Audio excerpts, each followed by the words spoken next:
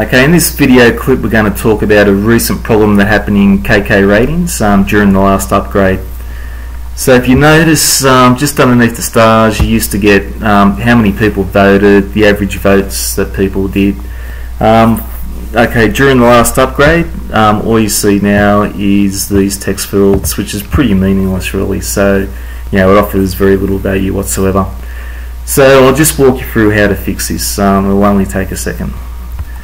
So if we go to the WordPress um, dashboard, um, all you need to do is click on um, plugins. Okay, once you get in the plugins, um, you go down to KK ratings and you click on edit. So we actually have to update the code in KK ratings. Um, the easiest way to do this is just click inside um, the text box um, I'll have the code. What I'll have this code embedded in the description field um, in describing how to fix this issue. So all you need to do is um, copy this um, bit of text here. Okay, just click in this box as I mentioned. Click Control F, um, then Control V to paste it, and that'll actually take you down to the code that I want you to update to resolve this issue. Um, you'll notice all these um, you know um, slash forward slashes here. Um, that's actually commenting out code.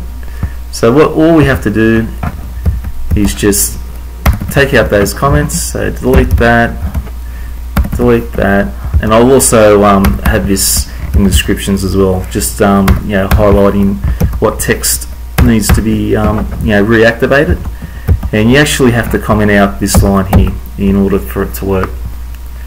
Okay, so what, that's all there is to it. So once you do that, um, click on update and basically the new code is going to get executed for KK ratings. So we'll just wait for that um, to complete that update. Okay, there we go. That's completed.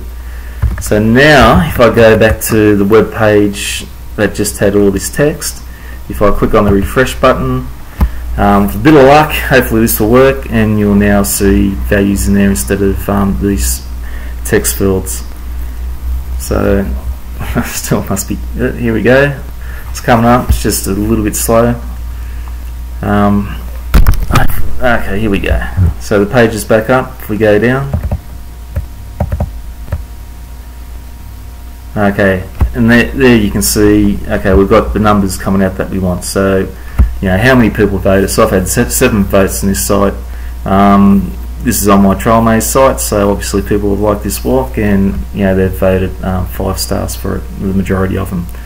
Anyway, good luck in fixing the problem, and um, yeah, happy WordPressing.